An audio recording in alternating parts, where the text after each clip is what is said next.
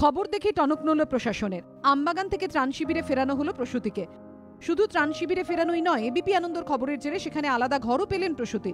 পুরাতন মালদার চর কাদিরপুর গ্রামের বাসিন্দা এক মহিলা গত সাতাশ তারিখ জন্ম দেন কন্যা সন্তানের।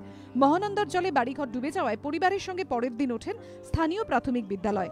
অভিযোগ, শিশুর জন্মের পর অসহজ পালন করা হয়নি। এই কারণ দেখিয়ে ত্রাণ শিবিরে শুরু হয় গঞ্জনা গালিগালাজ। অপমানে ত্রাণ শিবির ছেড়ে মহিলা ও তার স্বামী সদ্যজাতকে নিয়ে চলে যান পাশের আমবাগানে।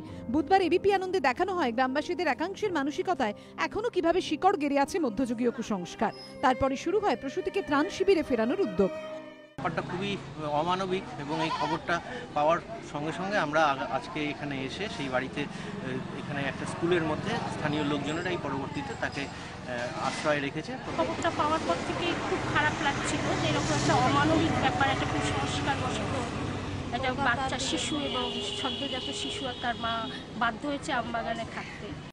মা ও নবজাতকের জন্য কাদিরপুর প্রাথমিক বিদ্যালয়ের ত্রাণ শিবিরে আলাদা করে একটি ঘরের ব্যবস্থা হয়েছে। Abhijit Chowdhury report ABP Ananda, Malda.